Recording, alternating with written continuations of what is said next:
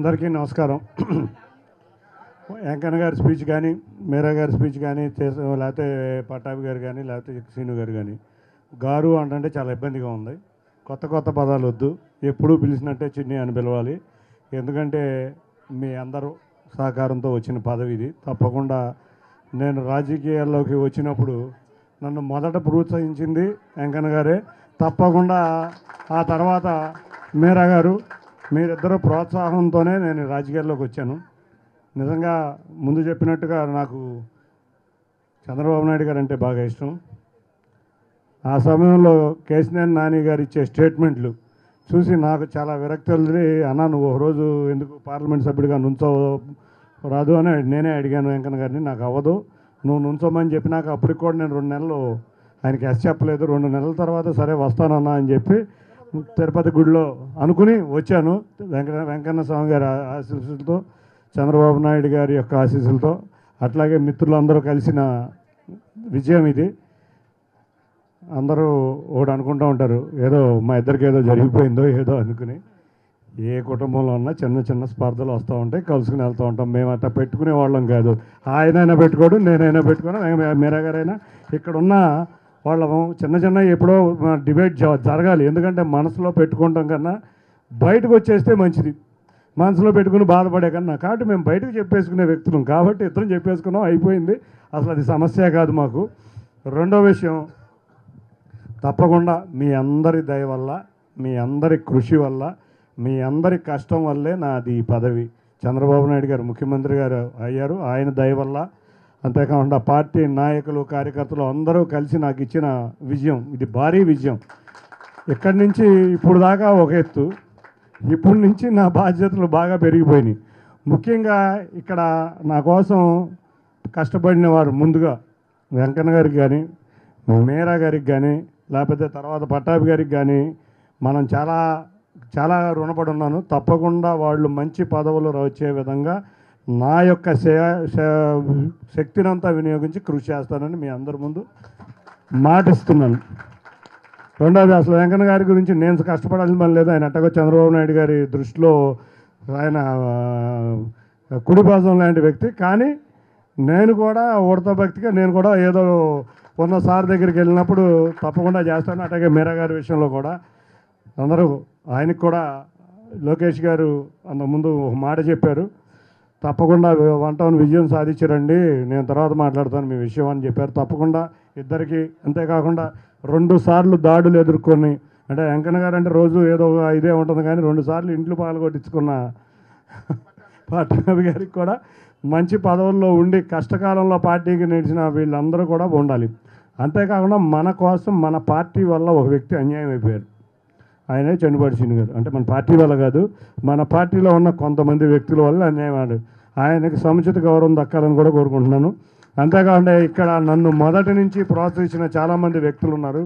అందరికీ కూడా వీళ్ళు ఇక్కడ ఉన్న విజయవాడ పశ్చిమ నియోజకవర్గ నాయకులతో కలిసి వాళ్ళతో ఏ విధంగా మీకు సముచిత స్థానం కల్పించాలో వాళ్ళ వాళ్ళ దృష్టిలో పెట్టి నేను మీ అందరికీ తగిన విధంగా న్యాయం చేసే విధంగా కృషి చేస్తా. ఈ బాధ్యత పెరిగిన సమయంలో మనకి ప్రజలందరూ కూడా మనల్ని అందరినీ మీరు చేసిన కృషిని నమ్మి మనకి పెద్ద మ్యాండేట్ ఇచ్చారు. ఇవాళ ఎక్కడ రాష్ట్రంలో నూట అరవై నాలుగు సీట్లు వచ్చినాయి అంటే ప్రజలు ఎంత కోపం కలిస్తే ఓటేశారో కాబట్టి మనం క్రమశిక్షణగా ఉండి అంత ముందు నాయకులు ప్రవర్తించిన తీరును మర్చిపోయి మనం ప్రజల వద్దనే ప్రజల సమస్యల కోసం మనం మొన్నటిదాకా పోరాం పోరాడాం.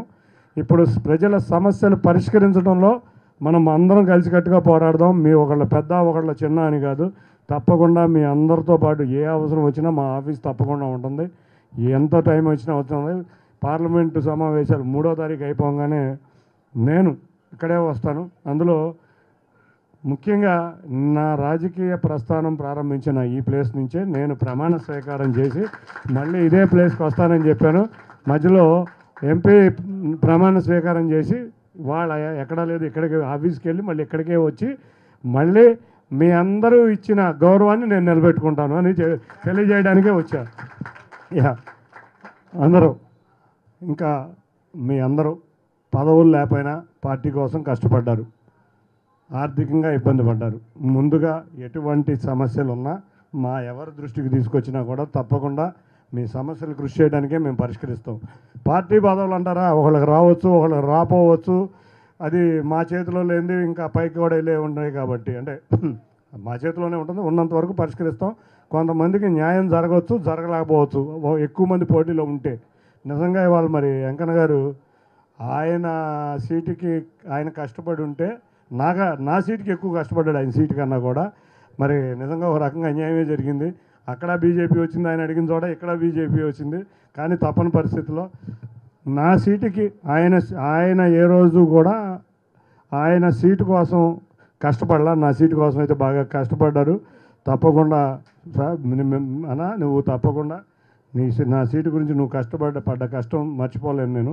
అంతేకాకుండా మీరా గారు ప్రతి మీటింగ్లోనూ నేను ఏ విధంగా మాట్లాడాలి ఏ విధంగా ఉండాలి అనేది ప్రతి మీటింగ్లోనూ చెప్పుకుంటూ వచ్చారు.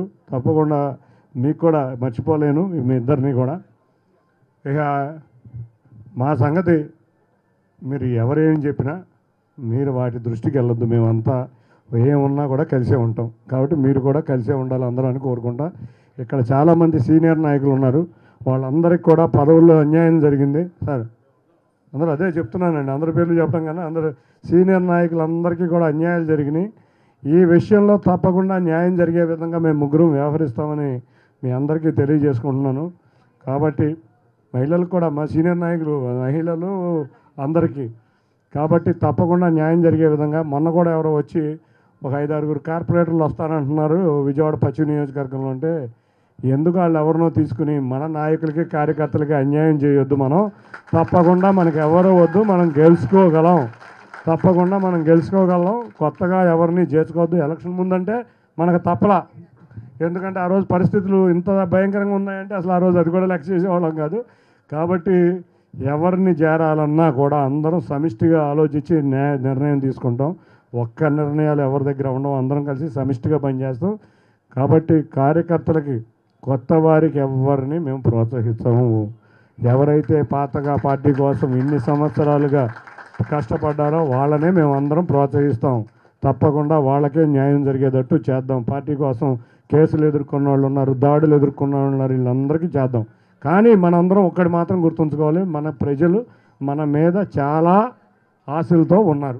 వాళ్ళ ఆశలు వమ్ము కాకుండా ప్రవర్తిద్దాం. ఆ విషయంలో మీకు ఎటువంటి అవసరం ఉన్నా మేమందరం ఉంటామని తెలియజేసుకుంటూ నాకు ఈ పదవి మీ అందరి వల్లే వచ్చింది. మీ అందరి కష్టం మీ అందరి శ్రమ అది నా ఒక్కరిదే కాదు. నేనేం చేసినా కూడా మీరు ఎన్నో సంవత్సరాల నుంచి పార్టీ కోసం కష్టపడిన వ్యక్తులు మీరందరూ.